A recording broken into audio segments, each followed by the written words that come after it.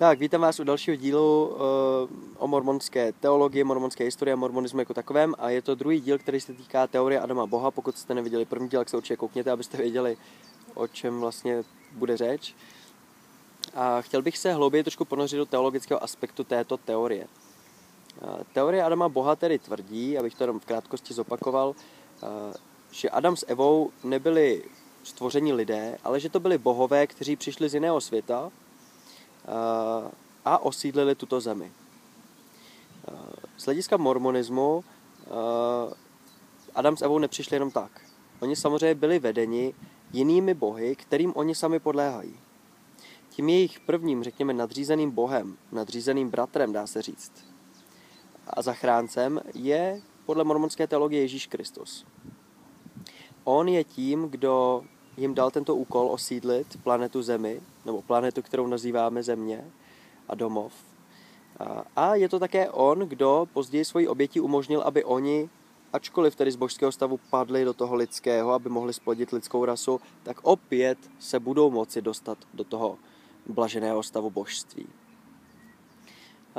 No a samozřejmě z tohohle hlediska podléhají Adam s Evou nejenom Ježíši Kristu, ale i tomu, komu podléhá sám Ježíš Kristus, a to je tedy Bůh, který je většinou nazýván uh, specificky, protože Bůh, že jo, je tam spousta bohů, tak je nazýván Bůh Otec. A je to tedy ten, který je otcem všech našich duchů. Je to ten, řekněme, nejvyšší řídící Bůh, kterého vůbec známe. Uh, z hlediska té klasické teologie. Um, proč vůbec Adam s Evou to tedy udělali? Zaprvé to tedy udělali z toho hlediska, aby splodili nové lidstvo, ale on tam je i další důvod. Není to jenom takové řekněme, zbytečné mrhání času a přebytečné obětovávání se. Z hlediska té teorie bohové prochází vývojem, který se projevuje jak v chování v duchu, v morálce, tak také v těle. A stejně jako lidské bytosti se nejdřív musí narodit v lidském těle, potom umřou, ztratí tělesnou schránku a pak jsou vzkříšeni do dokonalejšího těla, tak ti řekněme, prvobohové, ti, kteří se takto vzkřísí a jsou v oslaveném stavu, ti opět musí projít nějakým dalším vývojem, aby měli to tělo schopnější k dalším božským věcem. A jednou z těch prvních činností v podstatě je, nebo z těch první z těch hlavních úkolů, je právě buď to jako Adam, nebo jako Eva, podle toho, zda ta osoba je muž nebo žena, eh, projít transformací na zemi. Projít tím, že jako bohové pojí ovoce nějakého světa, nějaké planety, stanou se opět smrtelnými na té planetě a porodí tedy děti, které mohou na té planetě žít. Poté zemřou a budou opět vzkříšeni. Při tom druhém vzkříšení, nebo při tom na nebe vzetí možná, které tam proběhne, není to úplně jisté, jak ten jejich život skončí. Samozřejmě dojde k tomu díky opět jejich Boha Ježíše Krista. Tak po této přeměně oni dojdou změny.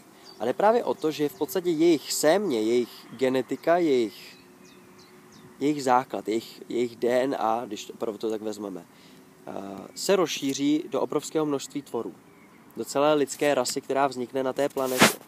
A když to vezmete z nějakého dlouhodobého hlediska, že zase opět tito lidé se možná v nějaké části svého života opět stanou nějakými bohy a budou taky takhle to dělat, tak v podstatě každý, kdo se stane Adamem Evou, tak si zadělá na to, aby měl nekonečné potomstvo. Je to hrozně dlouhá řada. A právě díky tomu, že přebývá v těchto svých potomcích, ať už ten Adam nebo ta Eva, eh, neboli ten praotec nebo pramáti, jo, je to takový eh, přezdívka pro každého, kdo tím projde, řekněme, taková funkce Adam, Eva. To je jedno, jak se jmenujete vy osobně, budete buď Adam nebo Eva. Tak, eh, tak ta změna, která tady ve vás proběhne, souvisí právě s tím, jaké budete mít potomstvo a jak daleko. A v podstatě vaše božskost roste právě tím, jak moc vy se ocitáte v těchto svých potomcích. Ten vývoj z hlediska teorie Adama Boha pak probíhá samozřejmě dalším způsobem.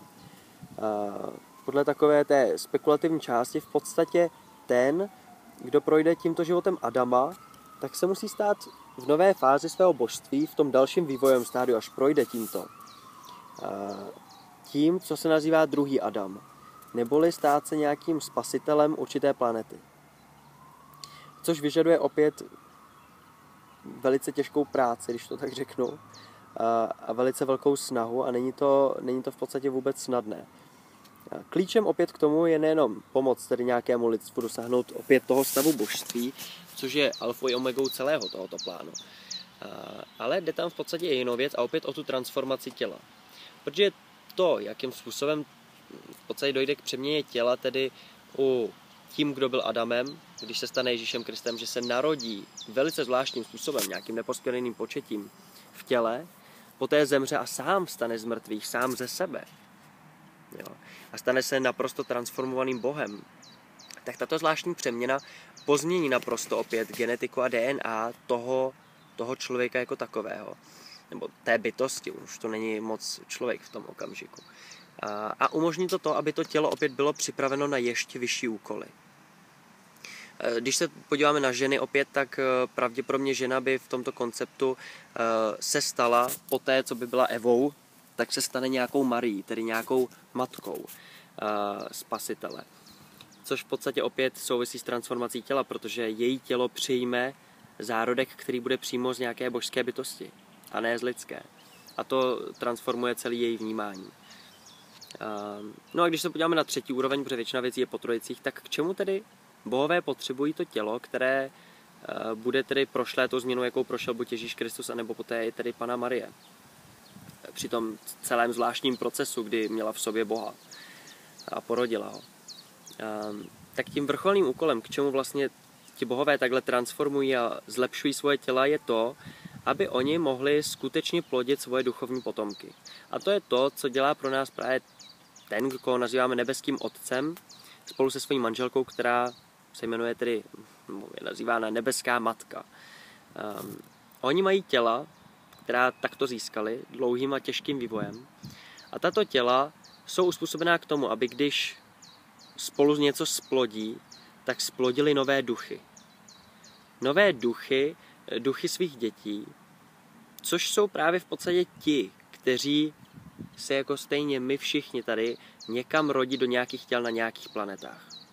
Jednoduše, když se stanete nebeským otcem, po té, co projdete těmi fázemi Adama a Krista, ehm, tak v podstatě budete mít za úkol plodit nové duše, abyste mohli zabydlovat ty planety, které předtím jste zabydleli třeba jako Adam jenom těmi fyzickými těly. Že?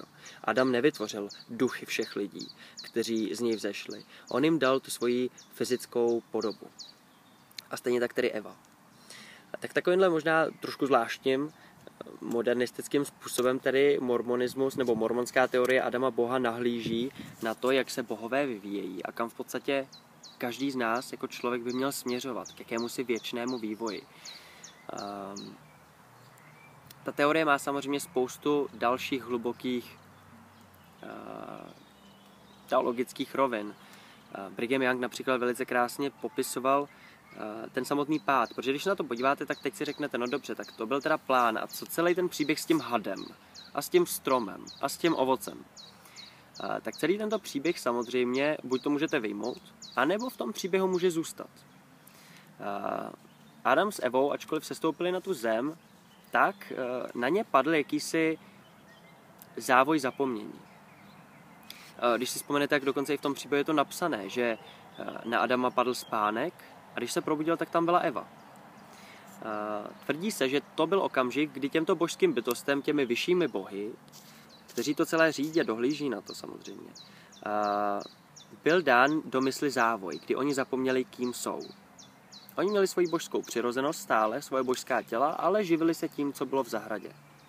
Do toho tedy přichází postava jakéhosi satana nebo Lucifera, padlého anděla, který se objevuje v ústech hada, Buď to jako lidská bytost, anebo tedy jako duch schovaný v ústech hada. Opět někde jsem možná o tom mluvil, když se to týkalo apokryfu, o tom, jestli ten had je skutečný nebo není. A třeba o tom ještě někdy uděláme nějaké video. Každopádně přijde Lucifer nebo přijde Satan. A, a Satan samozřejmě má svoje důvody, proč to dělá. On si myslí, že tím krokem naruší celý ten chod toho plánu, že vyžene Adama s Evou ze zahrady, protože on neví, jaký je ten plán, on neví o tom vývoji bohů protože on je také teprve novou duší. A v podstatě nevědomky tím, co udělá, způsobí, že dojde ke vzniku lidstva, kterému on samozřejmě chtěl zabránit. A Brigham Young, který byl tedy zakladatelem té teorie Adama Boha, a druhý je to druhý mor- mormonský prorok, když to tak nazvu, tak Brigham Young tvrdil, že Eva nebyla ta, kdo byl hloupý, kdo se nechal oklamat. Ona je částečně ta naivní samozřejmě, jo, ta, co tomu uvěřila, tomu hadovi.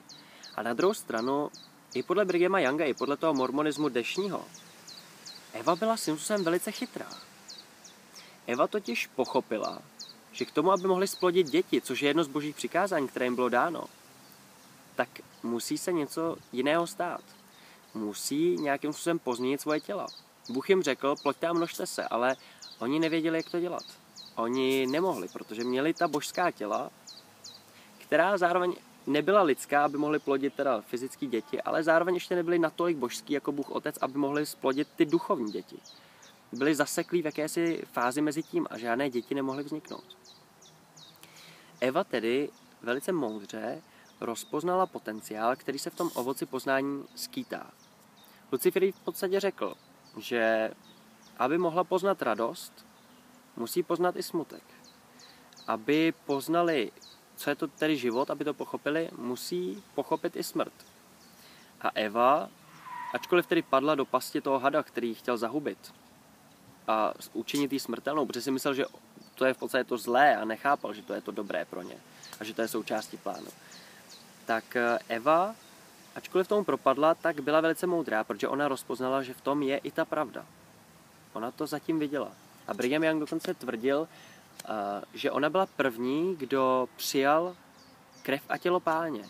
Kdo přijal tu večeři páně, neboli tu svátost, tu eucharistii, právě v podobě toho ovoce. Ona byla v podstatě první, kdo si vzal, okusil poznání toho božství, protože ona najednou pak, že jo, když oni sní to ovoce, tak se jim otevře mysl s padným závoj a oni řeknou, ty, ty jsi satan, teď my tě známe, my víme, co jsi, co jsi zač. Um, tak ačkoliv tohle získali, tak oni byli první ti, kteří v podstatě přijali spolu s tím, s tím darem, i to, že někdo za ně musí jednoho dne zemřít. Že se za ně musí jejich Bůh, kterého milovali, který je tam poslal, obětovat. Právě Ježíš Kristus. Z toho hlediska tedy oni přijímají to tělo a krev páně, v podstatě uvědomují si, že i oni jsou součástí plánu, i oni se museli obětovat. Ale i pro ně se bude muset obětovat ještě někdo větší, než jsou oni sami. A z toho samozřejmě vychází pro nás taková myšlenka, že i my jsme součástí tohohle plánu.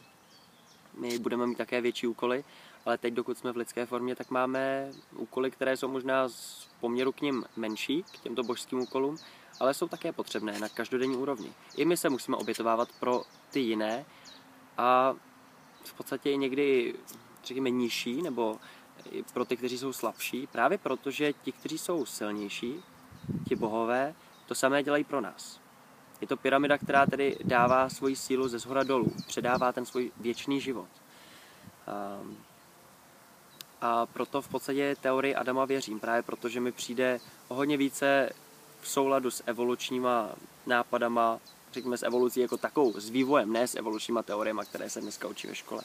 A celkově s přírodou a s tím, jak chápeme vesmír, o mnoho více, než, než jak to popisují ty klasické křesťanské proudy, stvoření Adama a Evy a tak dále a tak dále.